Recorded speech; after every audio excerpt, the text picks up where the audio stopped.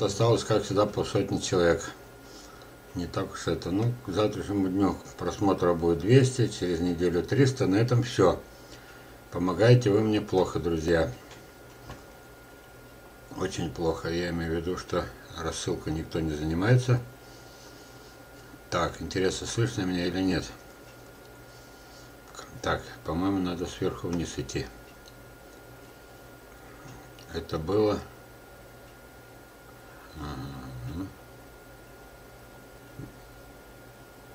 У Сафронова 9 часов было. Ага, значит, все понятно. У каждого свое время. Всем привет.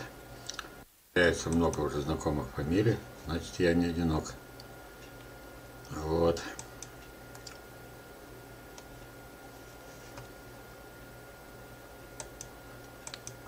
Всем здороваемся. Ярославль. Здорово. Я с вами. Так. Это я осваиваю. Раньше картинка была другая, поэтому так долго. Вологда. Кстати, Марина, ну-ка смотреть в глаза. Куда вы дели вологодский абрикос? Хотите, я за вас отвечу. Появился. Наверное, был достаточно жестким подходящим для вас. Он был средненький по качеству, типа Артема Серафима. Но все-таки он был настоящий, культурный, и вы его угробили. Теперь попробуйте найти. Это был не просто, а это, пусть это был еще широкое понятие. Вы могли вологодским абрикосом назвать все, что там могло выжить, вырасти. Вот. Вы знаете, что мне Антон Валерьевич подсказал? Когда мы закончим говорить, так? Да, посмотрим, что за смс -ка. Сейчас такое время, что, может быть, она к нам прямое отношение имеет. Одну секунду. Так, кто хотел, тот отключился. Ага, есть кое-что. Есть кое-что. После Александра Александровича Ж. 200 рублей для Бродского. Здесь идет ага, 1000 рублей от Михаила Анатольевича С. Так, наверное, скорее всего, Бродскому, но уточним. А, наверняка он слышит, значит, не зря в это время пришла. Вот, пожалуйста, если что, напишите мне смс или там отправьте, или как, чтобы я знал точно. Все-таки нашли же 2000 для этого, для Боднера. Ну, вообще, спасибо, приятно удивлен. Может, если в Бродскому, то машину дров мы наберем все-таки. Так, а то там, понимаете ли, запретили рубку леса, а люди остались без дров. Цена. Почему? Леса воровали и будут воровать. Вопрос в цене. Так. Ну что, вы поняли, Марина, насчет Вологды, если меня вы слышите? Ой, угробили. Вот те посадки и, и те самые обрезка, и метровый штамп обязательно, чтобы изувечить. Городничин, старый друг. Так, привет из Москвы. Чачак заказывал у меня, посмотрим, чем дело кончится. Вот. Добрый вечер. Мое ваше мнение, что делать с саженцами, которые за два года жизни практически не выросли. Прирост, если смысл ждать нормального развития. Да, есть смысл ждать. Смотрите, вы, допустим, я беру, я про саженцы ничего не знаю, я беру средним. Саженцы, вы, это уже два года же прошло, так? Значит, вы их брали, корни были изувечены, 90% да. То есть я беру средний вариант, потом буду насчет им уточнять, это все было не так, но это можно в частной беседе. А в среднем это так. Ему метр-два, сколько получится, корни изувечены, крона целая, и он начинает расти вниз. Он не обязательно погибнет. Вот, он может расти, но первые два года восстанавливать корневую систему. В это время э, штамп и вместе с ветками растет плохо, развивается быстро плохо. Вот, практически, как вы пишете, не растет. За два года 40 сантиметров, ну, он, короче, восстанавливается с какого-то момента как пойдет расти или сдохнет. Поняли меня, да, мою иронию? Или пойдет нормально расти, или сдохнет. Ждите. Теперь ничего предпринимать уже не надо. Все, опоздали с, с мерами. Так. Городничин. Светлана, важно знать конкретику, какие саженцы, груши, абрикосы, яблони, в каком возрасте, все подробно, 40 сантиметров, это все же нормальный просто. Ну, нормальные это среднеевропейские, ну, среднероссийские, но, знаете, я показывал приросты двухметровые, причем после пересадки. Ну, понятно, сам себе пересадил, сам садик я садил, а, естественно, у меня двухметровые приросты. Ну и ваше мнение, я считаю, правильно, учитывая, что мы не знаем, что это. Яблони просто меньше, абрикосы могут быть двухметровые яблони, полметра уже радоваться надо. Так что Городичин меня немножко так осадил и правильно сделал. Так, Тимоха, похоже, банду организовал. Это что такое? Так, Тимоха вроде банду организовал. А, ну банда это у него, это, это его, да, да, это самое, два брата и сестра, родная и двоюродная. Два, то есть, вот это троица, да, ну, насчет банды, не знаю, что из этого вырастет. Я воспитываю так, ты старше их всех на три года, на два с половиной три года. Вот, ты за них отвечаешь. А это значит, что каждый день мы деремся. Вот. Один день боксом, второй день карате, а потом смерть единоборства. Ох, и бьет уже. Вот. И груша, груша, груша. Да, придет время, если когда-нибудь рухнет Россия, все, все начнется опять с банд, которые постепенно будут стилизоваться. Так что, может быть, ваши слова пророческие, грустные времена. Я потом может, на следующем семинаре. Ну, видите, сколько просмотров, сколько участников. Вот. Через неделю будет не больше 300. И это получается, что нужны ли мы эти? Я бы рассказал, как надо воспитывать детей. В школе, после школы. А ведь что не знают люди? Вот вы просто сами меня вот этим вот зацепили вот этим словом. Вот. Мальчики, чтобы вырасти мужчинами, сами их желание двигаться, шевелиться должно быть понято. И плюс насильное, ну как насильное, плюс заставлять, заставлять двигаться, спорт, эти самые улицы, походы. Только тогда вырабатываются мужские половые органы. Это не только то, что вы подумали, это гораздо больше. Это несколько желез, о которых зависит, какие будут вырабатываться именно гормоны, мужские или женские. И потом, а лежа, сидя на диване за компьютером, ноги с, это самое, ноги с, это самое спрятаны, эти яички спрятаны, жень, девочек, а потом спорят, хочу быть девочкой, хочу быть мальчиком. Дикость какая-то. У меня такого не будет. Самое главное, двигаться, двигаться, двигаться. Мальчика до какого-то не меньше важно, чем мозги. А еще бы лучше, чтобы и мозги. Так, идем дальше. Ну, тут уже без меня идет пере, переговоры. Посадите контрольный конкурент саженец. Тоже хороший совет. Лучше бы 10 конкурентов. У меня даже меньше на груши, а, а на прививке груши 40 сантиметров, даже больше. Так.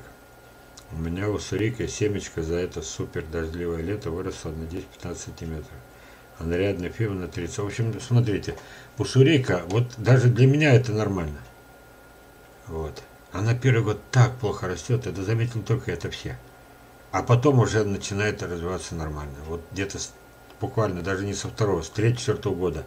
Вот почему это? Возможно, вот вы говорите, супер дождливое лето. Я это, э, чуть не сказал такое грубое слово, я это лето даром не нужно. Супер дождливое. Это не э, значит, что она попрет. А супер дождливое лето означает мало солнца. Я не, не прав? Вот. А ей солнце нужно, а, а дожди не нужны. Она так устроена. Она то самое, когда-то груша, яблоня, который общий предок, который появился на земле, он расползся так, что где было это, получилось яблоко, где было сухо, где да, да, не было грунтовых вод рядом, там получилось, именно получилась груша. Вот как вариант. И у нее получается, а, а где мало дождей? Там много солнца, она предназначена для этого. Вы заметили, мне сейчас э, долго показывать, я не знаю, уже время-то наше заканчивается. Я бы вам показал, может отдельно передачу сделаю. Груши, они вверх устремляются, их нельзя э, это, обшманывать, их нельзя э, оголять э, самое, как штамп, их нельзя прорежать они, они, они лезут вверх, они растут чуть ли не вертикальные ветки, чаще всего. Чаще всего, обратите внимание, я вам сто раз покажу, даже не обрезано, когда обрезано, тем более вертикальных веток нарастет. И это для того, не просто стремятся к солнцу, они защищают штамп от дождей. Пусть редких на, на исторической родине, но дождей. Потому что он не выносит влаги. А первый год, раз дождливое лето. Вы думаете, помогло им, чтобы это? Нет. Тут вы, вы написали, выросло всего. Супер, аж на целых 10-15 сантиметров. Вы поняли меня? Поверьте мне. Вот. С нашими режиссерами надо десяток собирать. Нормально. Ну что делать, такова жизнь. Уточняю, три груши, слива и яблоня. Возраст два года, посаженный до года, участок не сырой, южный склон. Склон понятие относительное. Вот. Южный склон может означать засуху, южный склон может означать, смотря кому, кому он на пользу, кому он на вред. Ладно, мы уже столько раз про это говорили, еще будем говорить. Я понял, надо по второму кругу. Пример с дядей Ваней очень показательный. Вот. Это называется еще запущенный случай. Уссурийка до Европы не идет. Так, правильно, нормально. Три года и ни одного подвойного экземпляра. Сажайте ваши местные груши или лукашовки, или культурные от Железова, но не уссурийки. Конечно, запретить не могу, но посадите рядом, увидите. Он прав в каком плане? Значит, лукашовки, да, например, это производная. Тут есть и кровь и уссурийских груш, Тут есть и крови европейцев. Они не зря пишутся лукашовки. Это широкий такой спектр. Вы нигде не найдете лукашовку, да, вот лукашовка стопроцентная и соответствует всем этим данным, все описание, все, все, все, все. Нет, это целый класс. А чем они отличаются? Не самые сладкие, но самые надежные, они прекрасно плодоносят, они урожайные. Когда большой урожай, вы не станете их даже кушать а когда слабый урожай, они довольно вкусные, все-все-все. Потом за ними пошел те, которые создали уже на Алтае, уже следующее поколение, они тоже замечательные. Лукашовки-то они дальневосточные. Вот. И что получается? А, Уссурийка в чистом виде. Как, вот чем Александр смотреть мне нравится, умнейший мужик. Вот он правильно пишет. Уссурийка, где родился, там пригодился. Помните, я рассказывал про почву, про то, что это почва. Она родилась э, в Уссурийске. Ну и на здоровье там и должна жить. Так. Потом она попала в Сибирь. Ну, я сравниваю, ну, ну что, терпи, не просто терпимо. И как подвой идет, и груши мы обжираемся, вот эти же дети. Вот. А на Востоке цены нет уже у меня, у меня же рядом не замерзающий Енисей, ну то есть я начинаю сравнивать, да, не замерзающий океан, не замерзающий Енисей, может почва совпала так, что это, а у меня же почва-то, я же не болтун, и Александр, смотрите, не болтун, все совпадает, у меня же, я только говорю, что у меня что-то среднее между суглинками и суписью, так? Для уссурика, она же груша, как, пусть уссурика, но она груша как раз для этого. А на, на жирных почвах она не идет, потому что там застой воды на жирных почвах, вот она изгнила. Мне подошло. Он, а, а Европа, там что получается? Что такое гольстрим? Его никто не отменял. Его каждый год отменяют, говорят, кто гольстрим поменял тень, сейчас это, в Европе будет Сибирь. Ну, пока, слава богу, обходится что-то. Или это фантазия, или паника преждевременная. Может и правда, через несколько лет там будет Сибирь. Вот. Я боялся потепления, боялся, боялся, задолбили мне голову, у нас две 40-градусные зимы. Вот тебе и потепление. А у Сурейка пошла у нас. А у вас что получается? Влаги больше? Вот. Туч больше? Гольцем-то это тучи. Это потом все остальное. Он же идет сперва Европу захватывает, а к нам уже по остаточному принципу. Дождей поменьше, тепла поменьше. Вот. Ну и получается так. И, кстати, вот, э, дядя Ваня, вот это сравнивание Ленинградской области, якобы какая холодная, с Сибирью, оно некорректно. Да, вот даже севернее, у вас даже белые ночи есть.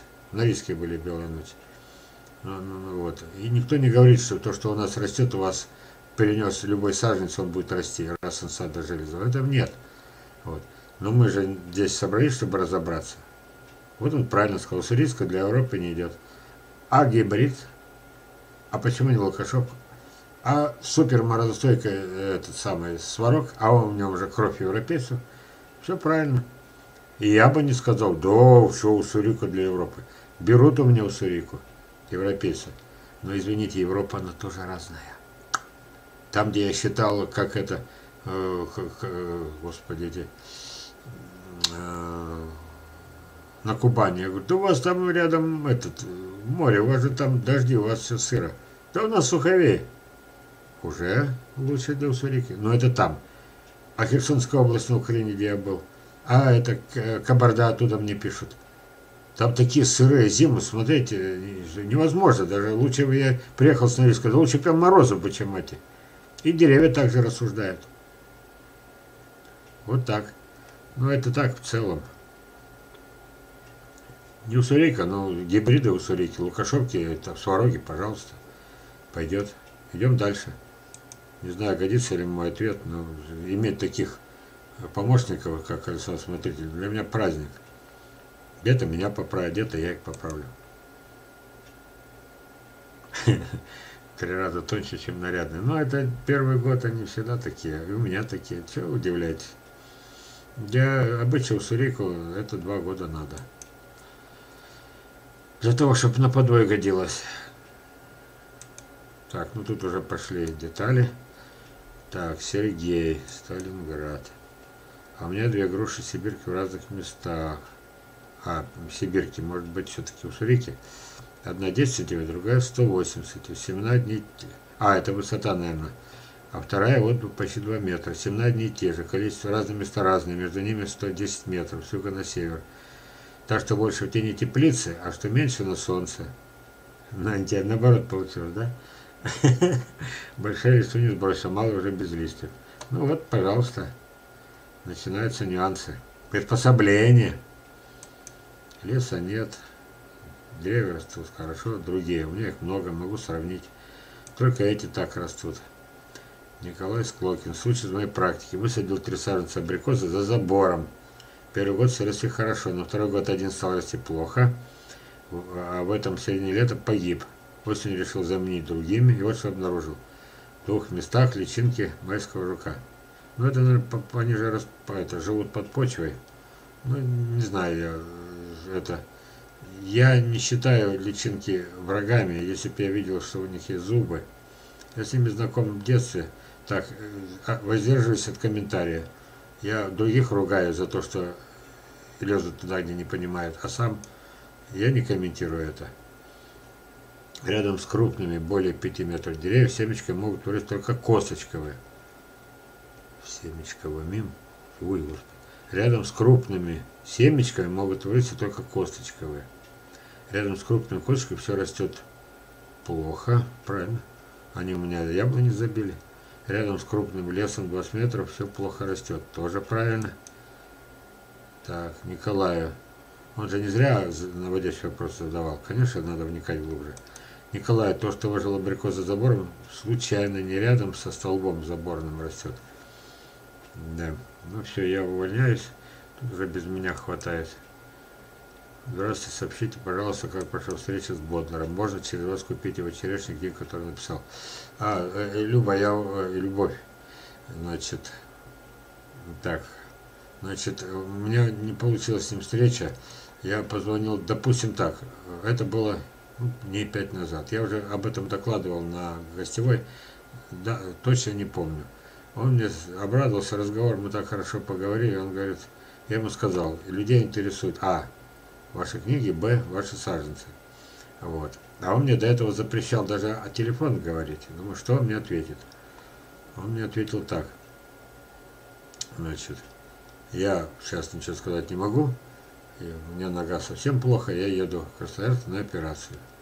Вот, пока все.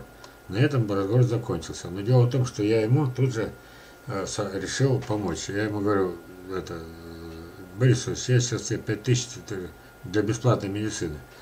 А он начал говорить, да, я не откажусь. Вот. А потом пришла, а, а номер карточки, он говорит, ну, у сына Алексея его знакомый, знакомый.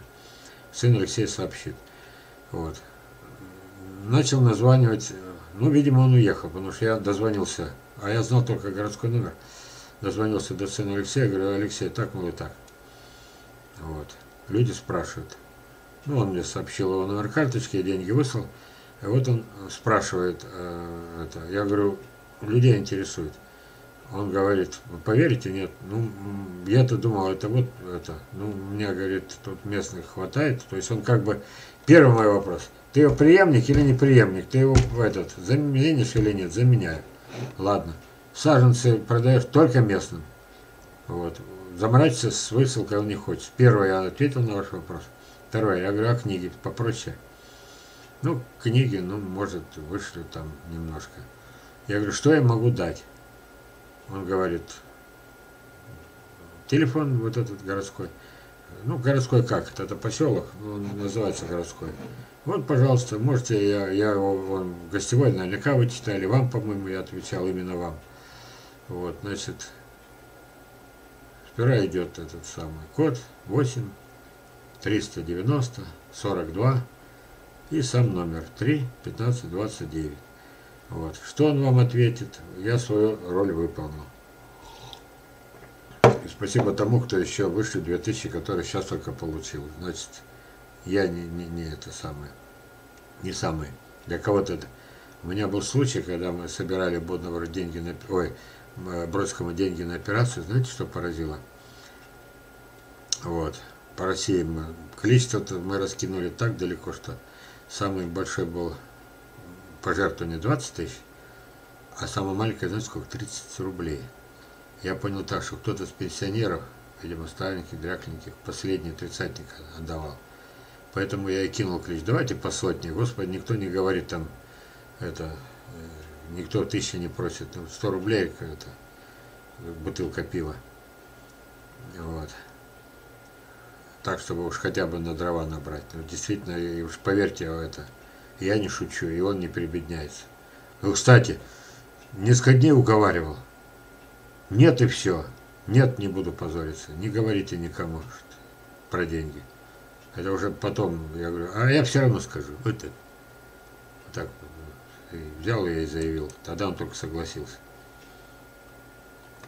Так, пересыл, пере, мы не будем пока переписку между большая очередь, просьба посвятить один вебинар биолокация. Не смогла найти вашу запись. Да, в принципе, а, вот что. Давайте так. Сейчас вы мне подсказали. Я вам отвечу, потому что у нас как получилось. Если а фильм снят, и он попал на какой-то э, конкретный этот э, аккаунт, то уже дальше. Получается, у меня даже на моем этом самом нету. Я вам скажу, где вы сейчас найдете, потому что там три фильма. Сейчас. Вот они. Я вас сейчас вот куда отправлю, знаете. А, а снимал я с помощью вот этой дамы. Кстати, это случайно вот выскочило, да? Вот, еще раз. Я не могу успокоиться, потому что это было такое ваш этот самый, ну, как бы там подспудно звучало, что я виноват, что это сгнили абрикосы. Вот видите? Это еще яма покруче вашей, вашей вот так вот. Пожалуйста, обратите внимание, это губка. Там вот даже где вода стоит, там нет озера. Это просто обманчиво. Вот как рисуют вот эти. Водоносный слой, это не озеро, это не река. Вот, это губка, через которую сочится влага. И дальше копните, никогда какая-то. И когда вот я копал колодец, выкопал уже метр, уже знаете, как по пояс в воде стою в гидрокостюме, да, и все пытаюсь еще заглубить. Вот. Но я же не слепой. Да, вода натекает, но она вот так это натекает. Вот так она натекает на корни. После каждого дождя она гниют ваши деревья. Но я не мог, не могу остановиться, понимаете? Вот это вот завалированное какое-то вот это какое-то обвинение. Ведь не зря же вас там ваши же подписчики на вашем этом вас утешали. Ну, вот, типа, да вы не переживайте, да. Ну, короче, знаете, как Поняли, да? Теперь идем сюда. Я не знаю, что тут мне пытается немножко Сафронов помогать. Может быть, уже пора завязывать. Смотрите. Вот. Видите, куда я вас отправляю? Вот здесь. Вот. Вот он называется «Домашнее хозяйство». Вот на этом, как он правильно называется, аккаунт, не аккаунт. Вот здесь вот эта дама и снимала фильм, три фильма. Вот она, вот она. Вы познакомитесь с прекрасным этим, можете подписываться на нее. Обратите внимание, что здесь моя физиономия мелькает, да? Если далеко пойдете, я сейчас не буду. Вот. Вы найдете все три фильма, где я делаю рамки, где я хожу по саду. Вот здесь все есть. То, что вот, вопрос задали, я отвечу. Просто тут много моих фильмов, брать, не, ну, хватает, в том числе. Поздние сливы, в саду Жельзова. Найдете и дальше ниже. Я ответил на ваш вопрос. На мой, вот он, у меня он совсем скромный. У меня 5000 подписчиков. Это вы, надеюсь, это вы все есть. Здесь это избра, для избранных, потому что уже такое было. Я вам назову один пример и, наверное... А, нет, мы не закончили. Ну, давайте тогда еще посмотрим. Так.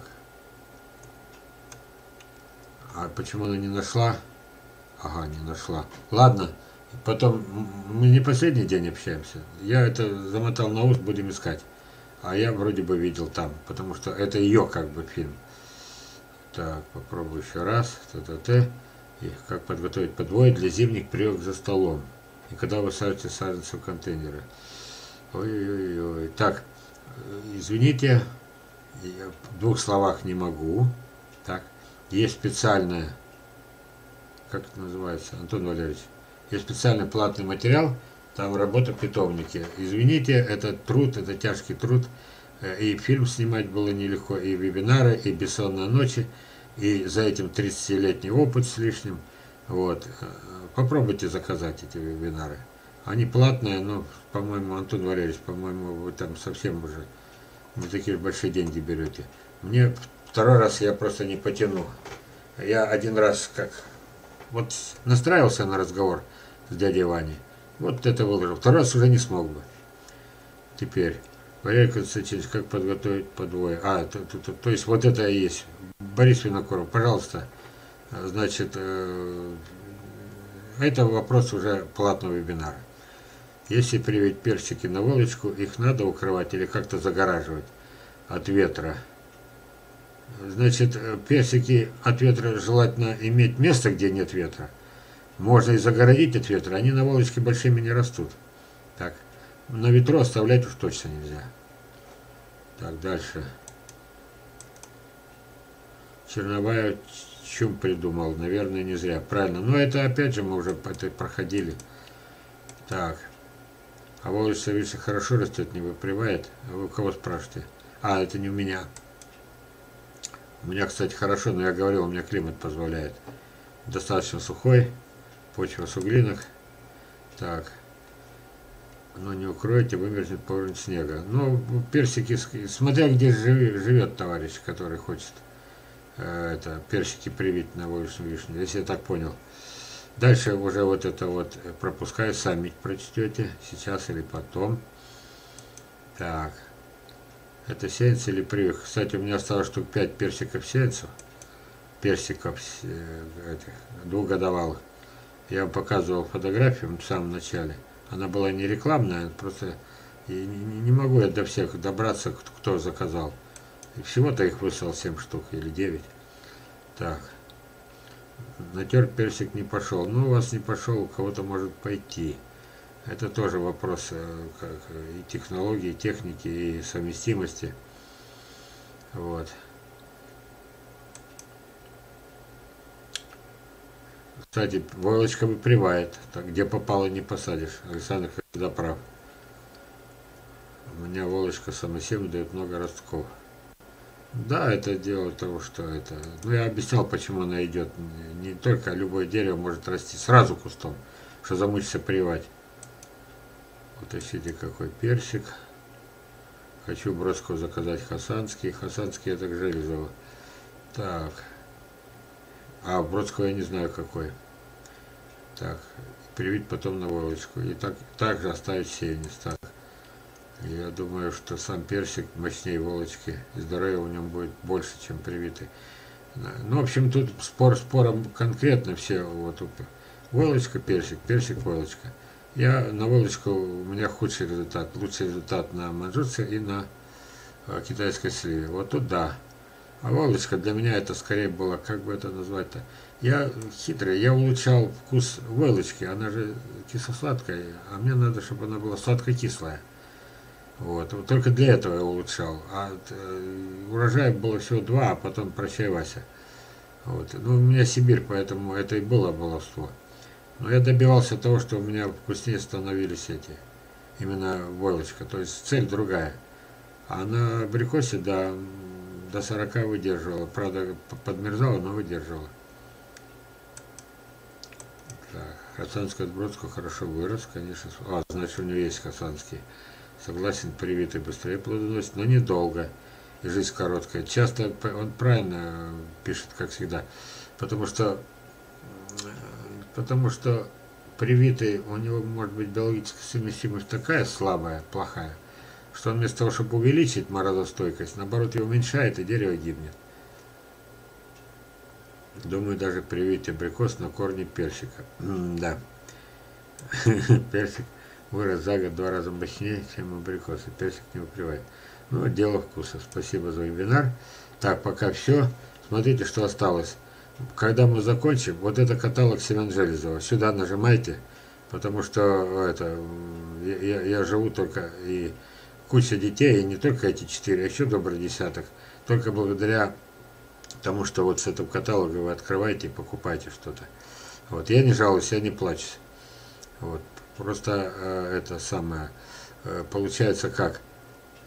Вот, вот завтра закажу, а где я буду завтра? Вот до весны закажу, а потом они переросли по, прям по ссылке. Лучше сейчас.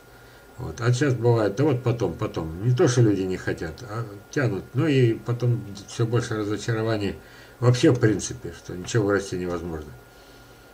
Вот.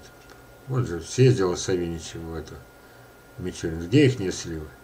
Ну, слива, вы знаете, что такое слива 50-100 грамм? Вы знаете, что такое слива, которую... Да это, я вот говорю, у меня полный рост свиней.